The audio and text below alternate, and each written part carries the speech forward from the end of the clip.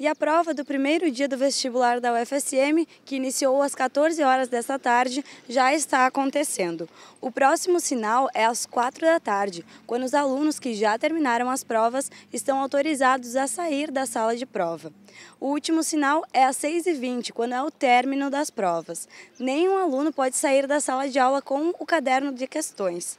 Uh, os alunos que desejarem ir ao banheiro ou tomar água, algum fiscal pode acompanhar ele dentro do prédio de prova e quem estiver fora dos prédios não pode utilizar esses banheiros. Por isso, há banheiros químicos espalhados pelo campus da UFSM. Essas foram as informações.